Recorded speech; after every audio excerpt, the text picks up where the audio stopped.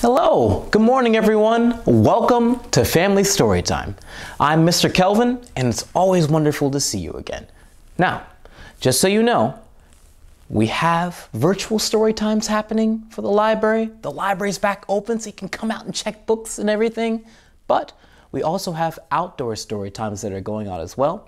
It is getting a little bit chilly, but we are still doing it. So we encourage you to come join us. Now, it's a family story time, so want to make sure that the parents and kids are together if you can. So we can all have some fun and we can all learn together. So if you're ready, let me hear a great big yeah. Mm, you can do that a little bit louder. Let me hear a great big yeah. All right, very nice. All right, now I'd like to start out with a nice little hello, good morning. So give me a few moments to get my djembe here. Yes. All righty.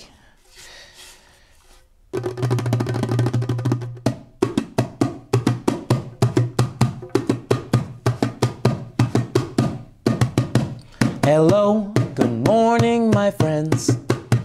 Hello, good morning, my friends. Hello, good morning,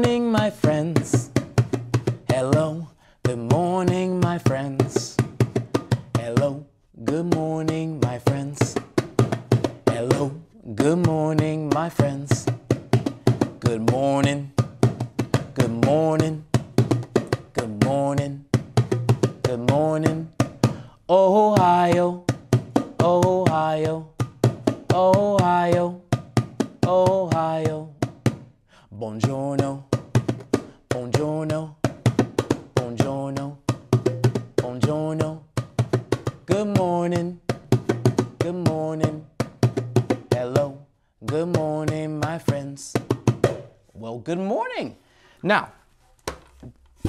just so we know, we said good morning in three different ways. We said good morning, which is English. We said Ohayo, which is Japanese. And we said buongiorno, which is Italian. So, very good job. Now, let's see what animals have come to visit us this morning. Alrighty. Oh, hello. When frogs get up in the morning, when frogs get up in the morning, when frogs get up in the morning, what do you think they say? Did you say ribbit? Yes, that's right. Ribbit is what they say. Ribbit is what they say. Ribbit is what they say when frogs get up in the morning. Ribbit is what they say. Ribbit. Thank you very much, frog. All right, I'm gonna put you away. All right, now let's see what other things we have here. Uh, yes. Ooh. We have ourselves and owl. Yes. When owls get up in the morning, when owls get up in the morning, when owls get up in the morning, what do you think they say? You think they say what? Do you think you say when?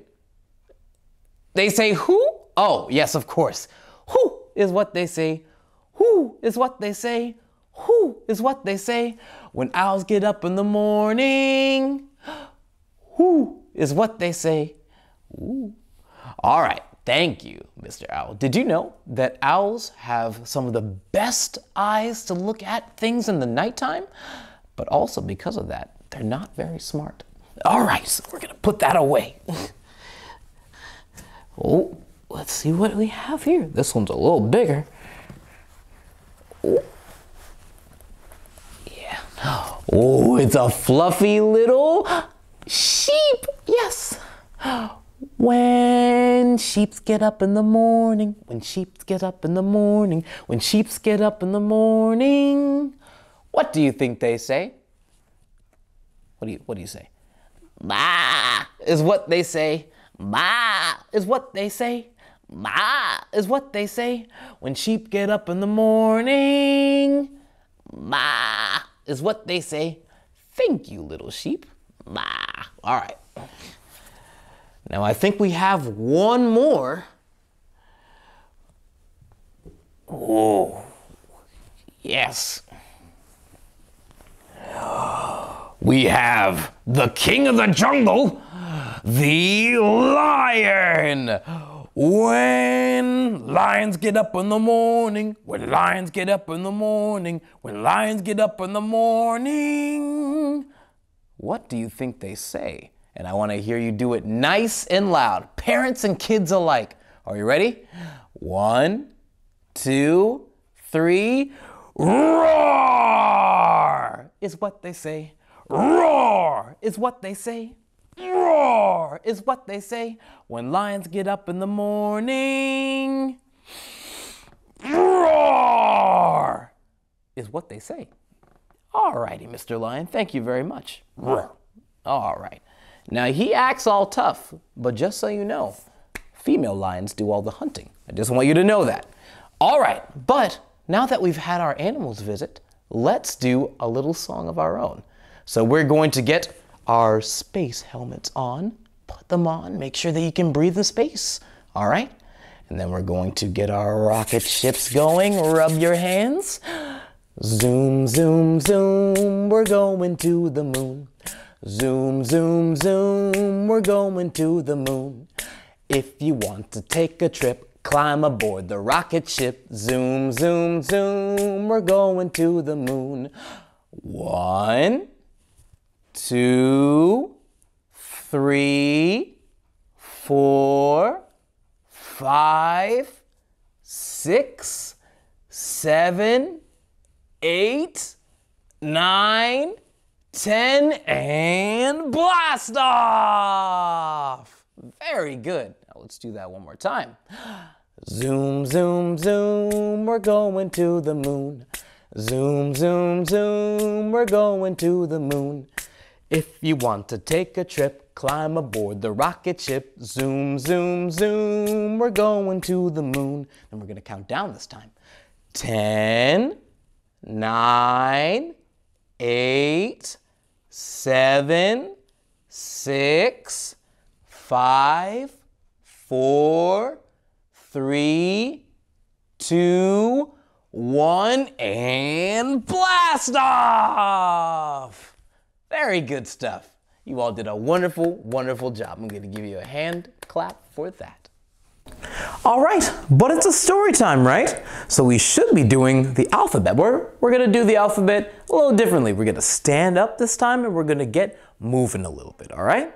So, stretch, stretch, stretch to the alphabet. A, B, C. Stretch, stretch, stretch to the alphabet. D, E, F, G, H, I. Just say hi. And J goes jumping around. K is for kick, a great big kick. And L is for lollipop. We lick, lick, lick. Stretch, stretch, stretch to the alphabet. M, N, O, P. Stretch, stretch, stretch to the alphabet. Q, R, S, T. U goes up, up on your toes. V is for victory. Everyone knows. W, the worm that wiggles and bends and stop. For X, Y, Z. The end. Excellent job, everyone. Good job, good job. Now that we've done our alphabet, let's see what our letter of the day will be. All right. Let's see. It's the letter D. Yes, the letter D. Now, what starts with the letter D? Let's find out. I'm going to put this back. We'll pull out our first thing.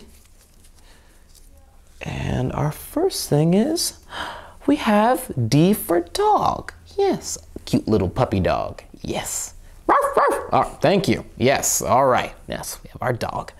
All right, let's get our next thing here. We have, is this my favorite puppet? Yes, it's our little ducky. Oh, no, don't be shy. Don't be shy. Say hi. Yes, very good, very good. Hello, little ducky. D is for duck or ducky. Yes, put you back. All right, now let's see what other little animal we might find on the farm, you know, things of that nature. Like a dinosaur. D is for dinosaur. Yes. Roar. We wouldn't find this on a farm, but that's okay. Yes. D is for dinosaur. Yeah, thank you, Mr. Dinosaur, for visiting. And last but not least, another animal that we might see, you know, just out and about on a normal afternoon. A dragon! Who it also breathes fire and everything, and it has the wings. Yes. Does anyone like Taco Dragon? I like Taco Dragon. Now, um, just so you know, we're having the winter reading program happening soon. That's going to have a lot to do with dragons, so keep an eye out to your local library for it. So D is for dragon. Yes. Now, let's draw the letter D. So we hold up our one little finger. We're going to start at the top and we're going to come down. Then we come back up. We're going to wrap around. Very good. Let's try that one more time. One little finger. Down. Back to the top and wrap around. Very good. And that is our letter D. Well, we've done our alphabet. We've done our letter of the day. We've seen the animals that come to visit us. Now it's a story time. So I think it's about time for a story. So if you're ready for a story, clap your hands. If you're ready for a story, clap your hands. Now if you're looking with your eyes and you listen with your ears, you are ready for a story, clap your hands. All right. All right. Our first story is going to be called Drawn Together by Minh Lê and Dan Santat. Now, something that you're going to notice is that there's not going to be a lot of words, especially in the beginning. So I'm going to tell you what the pictures are, but I think you can observe that it still tells the story in a way, too. So let's look at it together. We have our opening words as well. Sometimes you don't need words to find common ground. We're going to find out what that exactly means as we look through the story. All right. So our story starts off with the boy ringing the doorbell and answering. It looks like it's his grandfather. They do a nice greeting. They wave bye to the mom, and the grandpa happily welcomes him inside. But he doesn't seem very happy.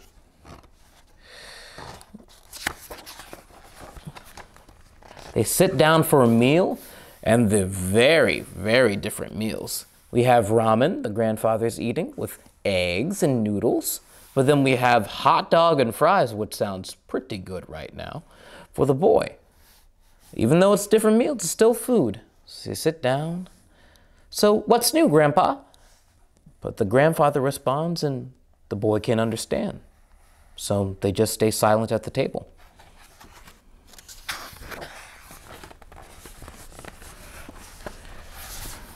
They decide to sit down and watch some television. The grandpa looks at the boy. The character on the TV is doing something, but he can't really understand what he's saying. The grandfather is asking something, but the boy can't really understand. So he just says, Can we watch something else? There's that silence again. The boy decides to get up from the couch he sits down at the table, but he's pulling something out of his backpack. It's paper, markers, pencils, colored pencils. The boy's drawing. The grandfather sees this, he's drawing a little character, and the grandfather begins to smile.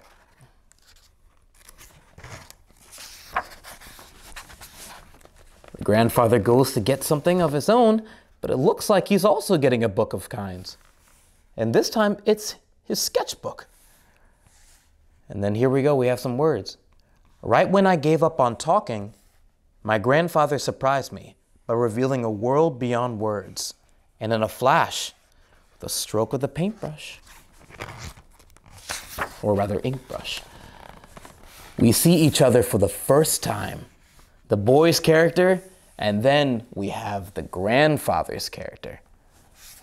Beautiful artwork. All the things we could never say come pouring out.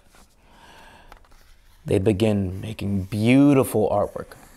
Giant fish, the colors, a little monkey. And we build a new world that even words can't describe. Sometimes when you look at artwork, we can try to use words to describe it, but sometimes it's just best to look. Hmm. But just when we're closer than ever, something's happening. Oh, the little boy's character is falling down. The grandfather is getting thrown off by something. What's happening? That old distance. Very big, big hole. In between now, the little boy on this side and the grandfather all the way on this side comes roaring back. We have our dragon popping right out of the hole in between the grandfather and the boy. The grandfather looks and sees the young man's little wand. He picks it up and he begins getting color for himself. And the boy, he picks up the grandfather's ink brush. And this time, I'm not afraid. And he picks it up with bravery and the grandfather and the boy, because I know that together, they decide to fight the dragon. We can make our way across. And now they created a bridge all across that distance, the grandfather running towards the boy. And now, after years of searching for the right words, we find ourselves happily speechless. And we have all the beautiful art that they created throughout their wonderful adventure and a wonderful hug. And here we have the grandfather and the boy saying hi to the mom. Mom gives a nice warm hug. The boy in the car with a smile. And one last exchange an ink brush and a marker. They wave. And that is the end of our story. Now, that story is very important because you don't necessarily always have to use words to communicate with someone. Sometimes we have family members that are from different countries. Sometimes we have friends that might not necessarily have the ability to speak, like you and I. But a good way to communicate is through drawing or even through writing. So, our story showed that the grandfather and the son, they were able to still connect despite that rift. And they were able to bridge that gap. We saw the bridge in the story through their drawings and letting love shine through in the end. It's a very important story. But now we've read our story, we've calmed down, but let's get a little moving before we do our next story, okay? So I want you to get your wheels moving. The wheels on the bus go round and round, round and round, round and round. The wheels on the bus go round and round, all through the town. The doors on the bus go open and shut, open and shut, open and shut. The doors on the bus go open and shut, all through the town. The wipers on the bus go swish, swish, swish, swish, swish, swish. Swish, swish, swish, the wipers on the bus go swish, swish, swish. All through the town, the stairs on the bus go up and up, up and up, up and up. The stairs on the bus go up and up. All through the town, the money on the bus goes clink, clink, clink, clink, clink, clink. Clink, clink, clink. The money on the bus goes clink, clink, clink. All through the town. The babies on the bus go wah, wah, wah, wah, wah, wah. Wah, wah, wah. The babies on the bus go wah, wah, wah. All through the town.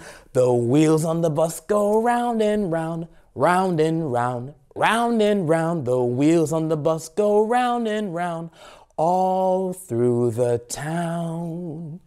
Very good job. You all deserve a round hand of applause for that. Very good. Very nice. Our second story is Where Are You From by Yamil Mendez. illustrated by Jamie Kim. Alrighty. Nice little opening shot right here.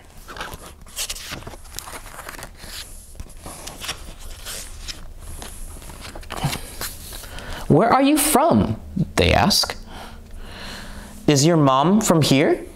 Is your dad from there? They ask.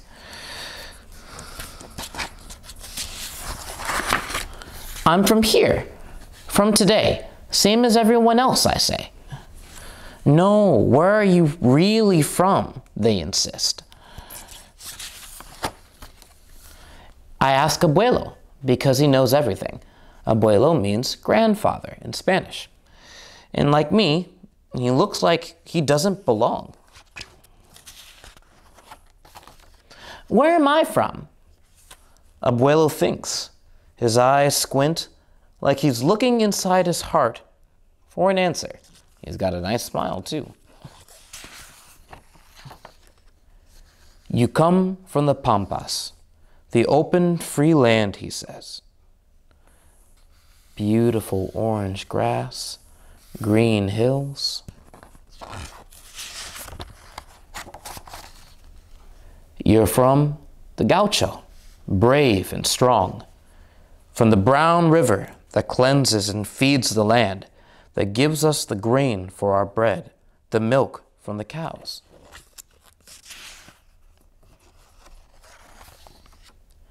You're from the mountain so high, they tickle Senor Cicielo's belly, where the condor roosts his family and the jaguar prowls the night. Ew, those are vultures. And a tall, tall mountain. But you're also from the warm blue oceans the copper warriors tried to tame, and the elegant palm trees stretch their fingers to caress.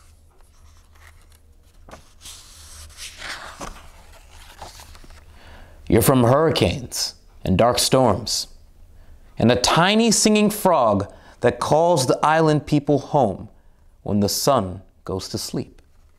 There's our little frog over there.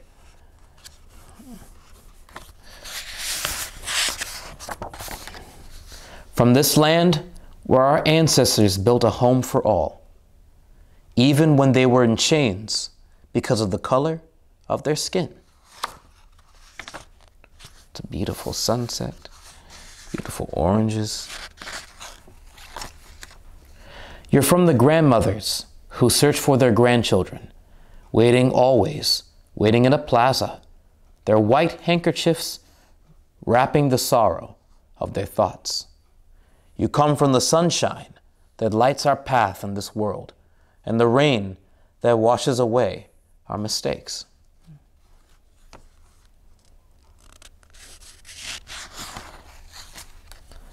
But Abuelo, I ask, where am I really from? Abuelo laughs. You want a place? He points to his heart. You're from here from my love and the love of all those before us. From those who dreamed of you because of a song sung under the Southern Cross, or the words in a book written under the light of the North Star.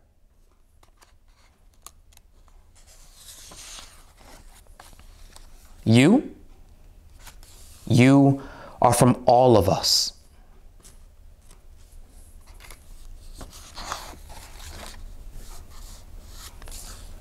I am.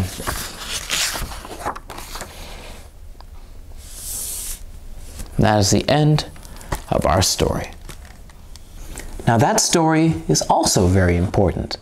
Where we come from, our origins, are not just relegated to just where we lay our head to rest or where our parents were born or where you were born.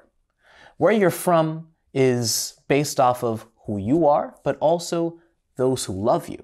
How the abuelo said that where the granddaughter was from was from inside his heart, but not only his heart, but her heart as well. She is who she is, and you are who you are. Like, for example, myself, my parents, they are both from the Caribbean. My father from Grenada, my mother from Jamaica.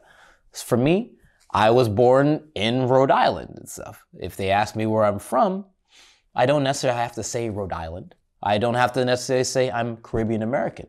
I just say I am who I am. And that's okay. So, these books, if you liked hearing them and if you liked the fact that, you know, they're available to read, where are you from? And drawn together, they're actually in our library system. You can actually check them out. You can always go to a different branch. You can place them on hold to be picked up at a later time, or we can see if they have them available to check out that day. So by all means, look through the library's website through vbgov slash libraries, search our catalog to see if you can find them. But that's the end of our story time. But before we go, I always like to say a nice goodbye song. So long, farewell, goodbye. So long, farewell, adios. So long, farewell, adieu. Hand on your heart.